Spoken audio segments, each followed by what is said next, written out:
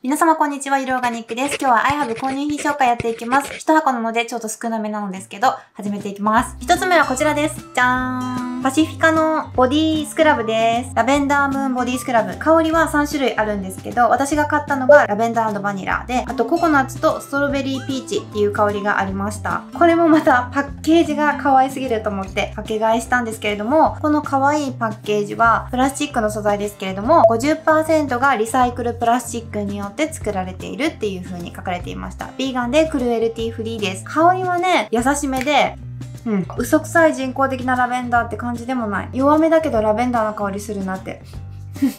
感じがします。こういう色をしてるんですけど、つぶつぶはね、溶けないタイプなので、割とお風呂の床にザラザラザラってなんかこう溜まっちゃうような感じではあるんですけど、私は割と好きだなと思って、優しめのスクラブかな、どっちかっていうと、まあ割とおすすめできるかなっていう感じがしました。とにかくパッケージが可愛い。次もスクラブなんですけど、次はフェイススクラブです。これは何て読むんですクレアスのもので、黒砂糖ベースかな？ Gentle Black Sugar Facial Polish っていう名前なんですけど、以前ね、iHave で好きのフェイススクラブすっごくいいシュガータイプのスクラブありましたけども、あれ販売が終わりましたよね。なので今私またフェイシャルスクラブジプシーになっているんですけれども、買ってみて、うーんとね、優しいとは思います。かなり。黒砂糖の粒は大きいか小さいかで言ったら大きいと思う。量は中ぐらいから少なめかな。溶けるのがめちゃくちゃ早いと思います。だからね、自分の中で気が済むまでスクラブができるっていう感じではないですね。あ、溶けてなくなっちゃったっていう感じなので、香りも独特な黒砂糖の香りみたいなのがちょっとほんのりするかなっていう感じで悪くはないけどリピートしたいとまでは私は思わなかったかなっていうのが正直なところです。使い切るのは問題なく使い切れると思います。透明のスパチュラも入っていました。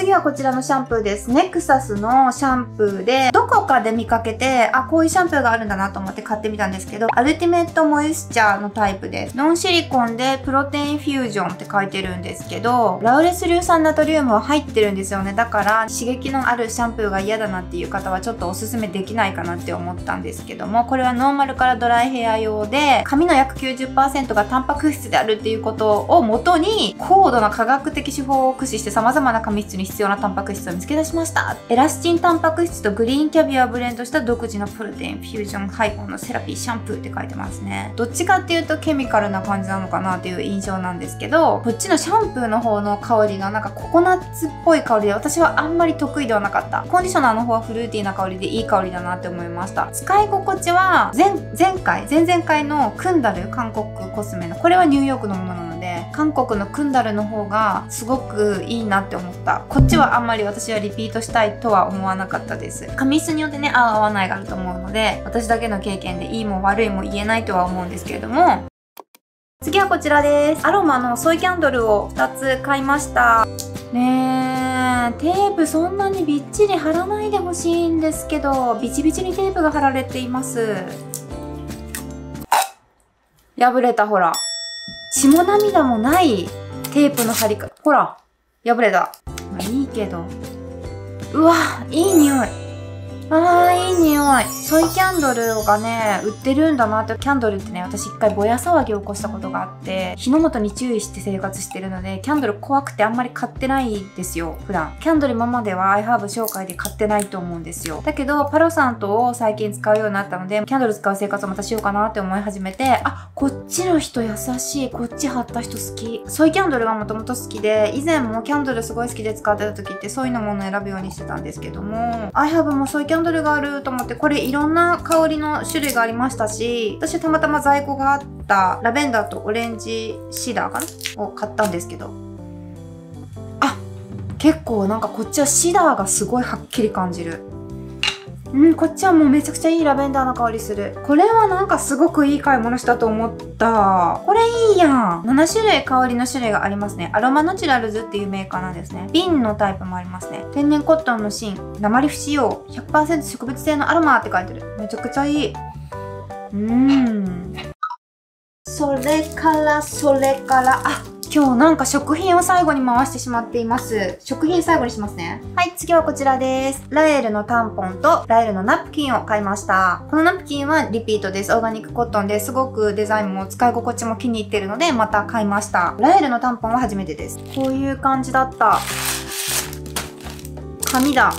100%オーガニックコットンティップトゥーストリングサステナブルカードボードアプリケーターウルティメイトプロテクションマクシマムセキュリティプラスチックじゃないよね。プラスチック嫌なんですけど。ああよかった。紙です、はい、こういう感じで。紙ですね。今まで iHerb で紙のアプリケーターのオーガニックコットンの担保っていろんな種類使ってきたんですけど、まあ、私は紙のこのアプリケーターに苦戦したことってあんまりなくって確かにプラスチックのものの方がつるんと入れやすいっていうのはあるとは思うんですけどだからといって紙になったら全然苦戦して痛いとか入らないとかいうことはないと私は思っていて無駄にプラスチック製品を増やす必要ないと思うので紙のものの方がすごい好きです。これはね普通の日と多い日用みたいなのがあって私は普通の日用みたいなのを買ったのでこっちの方が細いって書いてました。普通のこのレギュラーサイズの細さ以上の太いタンポンって私はちょっと体験したことがないからわからないけどこれはなんか問題なく使えそうな気がしています。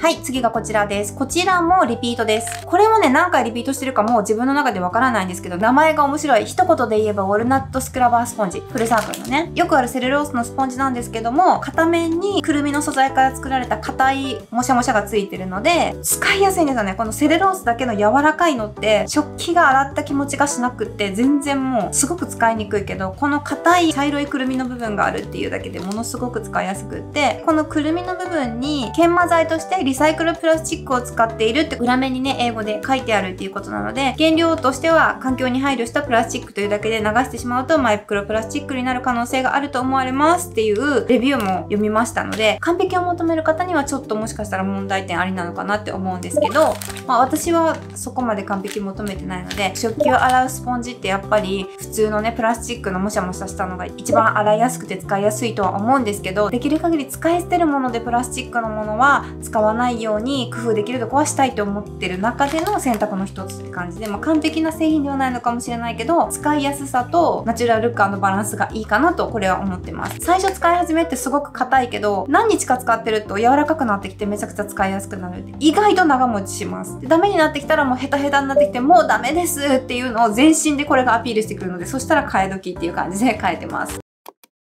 次はこちらです。 Bob's さんのね、 Gluten Free Homemade Wonderful Bread Mix。パンを焼く粉を買ってみました。2月の中頃か、そろそろですね、我が家もグルテンフリー体制に入っていかなければならないので、グルテンフリーの食品を iHerb でいろいろチェックするような時期になってきまして、グルテンフリーのパンがなかなか売ってはいないから、ちょっとこの粉買ってみたんですけれども、これオーガニックとかじゃないんですけど、一応ね、iHerb のこの商品詳細ページにレシピが載っているので、この通りに使ってみようかなとは思っているんですよ。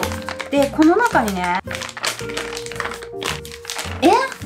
全然わからないけど、入ってないと思うんですけど、なんかこの中にね、コーブパック付属品っていうのがレシピの中に書かれてるんですけど、コーブパック付属品なんてないと思うんですけど、あるの？ちょっとでも挑戦してみます。でも卵1個と卵白3個分、卵黄3個分を別で何で使えばいいのってちょっと思ったけど、このレシピの通りにちょっと1回やってみたいと思うので、YouTube か Instagram かどちらかで作ったら必ず出してみます。レビューを読んだ限りでは、うまく焼けますっていう方と、うまく焼けないっていう方と、真っ二つに分かれていたので、まあ、どうなるかわかんないけど、ちょっとやってみます。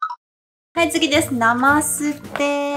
これはワッフルパンケーキミックスですね。これもグルテンフリーでオーガニックとかではないです。いろんなグルテンフリーのパンケーキミックスをこれまで iHerb でもう本当にほとんど買ったんじゃないかっていうぐらい買ってるので、これは買ったことがなかったので買ってみました。甘くないパンケーキ粉ですみたいな感じで書いてあったので、まあいいんじゃないかなと。さっきのね、粉がうまく焼けたらいいんですけど、そのグルテンフリー期間に入ったらパンがね、食べれなくなるから、息子が気軽に小腹が空いた時とか朝ごはんにパンが食べ食べれないというちょっと難点がありましてグルテンフリーパンケーキをたくさん焼いて冷凍しておくっていうことをよくやるのでそれ用に買ったっていう感じです。